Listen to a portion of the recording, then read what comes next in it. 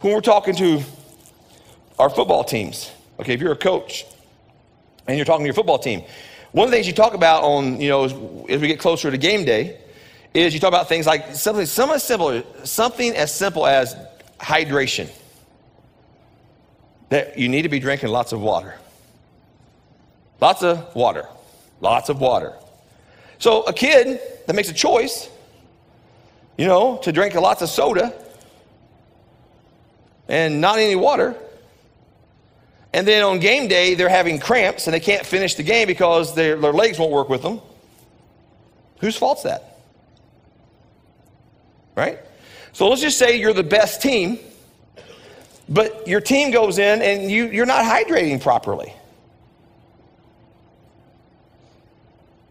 You saw too many ads on TV for, you know, Pepsi products or whatever it is. You just can't control yourself. Or you didn't get enough rest. You know, Netflix was always available, and you know your friend was always texting, and all of a sudden you stayed up too late, and you didn't get enough rest, you didn't get enough water in you. The best team doesn't always win, because sometimes the best team they get derailed, they get sabotaged because they make poor decisions. Everybody tracking? So let's make the church a team.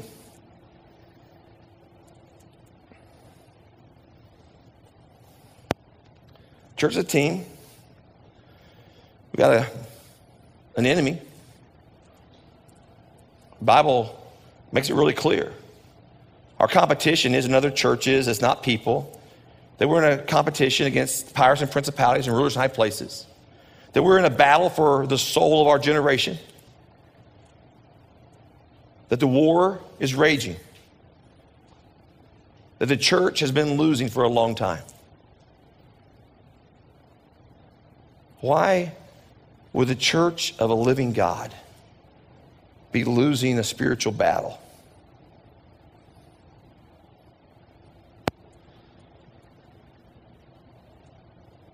Is it because the game plan's not good?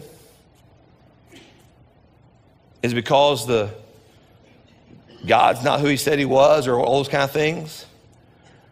Or is it because that the kind of equivalence to getting some water and some hydration and getting some rest? Is it because that the church, the individuals who make up the team, are making choices that allow the work of the enemy to derail the work of God? And the lie that churches tend to believe is that what God wants to happen is going to happen. God's will will be done. Liar, liar, pants on fire, that's not true. I know it sounds like it's true because he's God and he's sovereign. Yes, it sounds like it's true. It's not true. There are all kinds of things that happen in this world that are not God's will, it's not God's plan. Things are sabotaged all the time by man or by the enemy. It's the work of the enemy in and through man, maybe, as opposed to the work of God in and through man. See, the problem in the church isn't that the church isn't built to win. It's not that the problem in the church isn't the church doesn't have the talents and the abilities and the resources to win. It's not that the problem of the church is not that it doesn't stand on, on truth and on a foundation of whatever the word is, of Scripture. The problem in the church is that we get so distracted that somewhere we think we own it instead of God, and we think it's for our purposes, not God's. It's for our glory and our comfort, not God's.